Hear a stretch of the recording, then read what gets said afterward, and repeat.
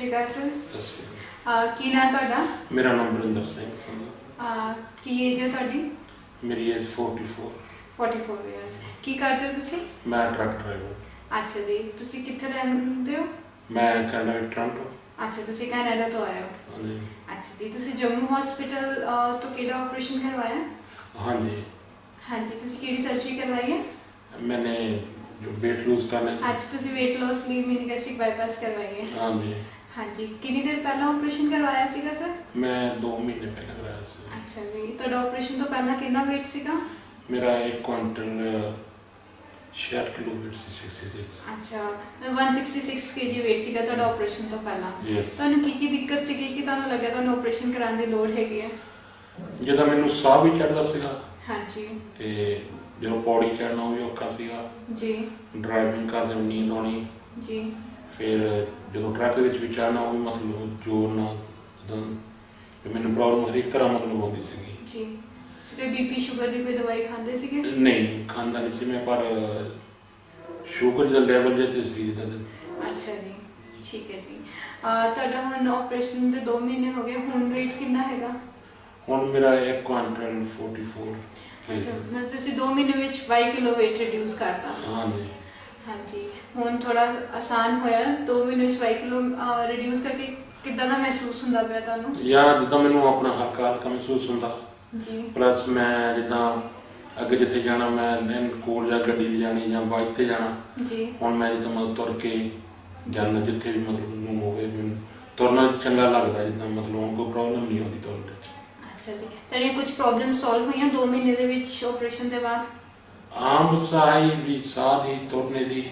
ਹਾਂਜੀ। ਤੇ ਮਤਲਬ ਹੁਣ ਨੀਂਦ ਤੇ ਨਹੀਂ ਆਉਂਦੀ ਬੈਠੇ ਬੈਠੇ ਨਹੀਂ, ਹੁਣ ਏਦਾਂ ਦੀ ਨਹੀਂ। ਕੋਈ ਦਿੱਕਤ ਤੇ ਨਹੀਂ ਨਹੀਂ, ਆਉਂਦੀ ਨਾ। ਹੁਣ। ਸਾਹ ਤੇ ਨਹੀਂ ਰੁਕਦਾ ਸੁੱਤੇ ਪਏ। ਨਹੀਂ ਹੁਣ ਨਹੀਂ ਰੁਕਦਾ। ਠੀਕ ਹੈ ਜੀ। ਹੁਣ ਤੁਸੀਂ ਆਪਣਾ ਮਤਲਬ ਕਿ ਡੇਲੀ ਦਾ ਜਿਹੜਾ ਛੋਟਾ ਮੋਟਾ ਕੰਮ ਹੈਗਾ ਉਹ ਤੁਸੀਂ ਆਪਣੇ ਆਪ ਕਰ ਲੈਂਦੇ ਹੋ? ਆਮ ਮੈਂ ਸਾਰਾ ਆਪਣਾ ਕੰਮ ਹੁਣ ਕਰਦਾ ਪਹਿਲੇ ਤੋਂ ਜ਼ਿਆਦਾ ਐਕਟਿਵ ਹੋਏ ਹੋ ਤੁਹਾਨੂੰ ਇਦਾਂ ਤਾਂ ਨਹੀਂ ਲੱਗਦਾ ਕਿ ਕੋਈ ਕੰਮ ਤੁਸੀਂ ਹੁਣ ਨਹੀਂ ਕਰ ਸਕਦੇ? ਐ ਨਹੀਂ ਅੱਗੇ ਨਾਲੋਂ ਬਹੁਤ ਫ਼ਰਕ ਹੈ ਐਕਟਿਵ ਹੈ ਅੱਗੇ ਨਾਲੋਂ। ਅੱਛਾ ਹੁਣ ਜੀ। ਤਾਂ ਕੋਈ ਵੀ ਕੰਮ ਕਰਨਾ ਉੱਠਣਾ ਬੈਠਣਾ ਜਾਂ ਜਿੱਦਾਂ ਅੱਗੇ ਮੈਨੂੰ ਹੁੰਦਾ ਸੀ ਵੀ ਜਦ ਕੋਈ ਚੀਜ਼ ਹੈ ਮੈਨੂੰ ਅਗਲਾ ਹੀ ਫੜਾ ਦੇਵੇ। ਅੱਛਾ ਜੀ। ਆਪਣਾ ਹੀ ਪਵੇ ਨਾ। ਪਰ ਆਉਣ ਨਹੀਂ। ਹੁਣ ਮਤਲਬ ਕਿ ਕੰਮ ਕਰਨ ਨੂੰ ਮਨ ਕਰਦਾ ਹੈ। ਜੀ। ਅੱਛਾ ਜੀ। ਆ ਖਾਣ ਪੀਣ ਦਾ ਕੀ ਹੈ? ਤੁਸੀਂ ਲੰਦੇ ਪਿਓ ਖਾਣ ਪੀਣ ਵਿੱਚ ਸਭ ਕੁਝ ਆਮ ਸਭ ਕੁਝ ਰੈਗੂਲਰ ਹੀ ਲੈਣਾ ਪਿਆ। ਨੌਨ ਵੈਜ ਵਗੈਰਾ ਵੀ ਸਭ ਕੁਝ ਹਾਂ। ਇਦਾਂ ਦੀ ਦਿੱਕਤ ਨਹੀਂ ਆਉਂਦੀ ਕਿ ਕੁਝ ਨਹੀਂ ਖਾਤਾ ਜਾਂਦਾ? ਐ ਨਹੀਂ ਕੋਈ ਦਿੱਕਤ ਨਹੀਂ ਆਉਂਦੀ। ਅੱਛਾ ਜੀ।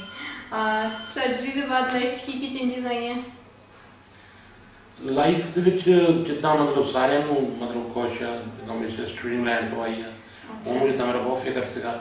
ਜੀ। ਹੁਣ ਵੀ ਆ ਕੇ ਦੇਖਿਆ ਮੈਨੂੰ 2 ਸਾਲ ਮਿਲੀ ਹੈ ਅੱਛਾ ਜੀ। ਉਹਨੂੰ ਵੀ ਜਿੱਦਾਂ ਬਹੁਤ ਮਤਲਬ ਮਸਲਾ ਮੇਰੇ ਮੰਮੀ ਡੈਡੀ ਵੀ ਜਿੱਦਾਂ ਖੁਸ਼ ਆ ਸਾਰੇ।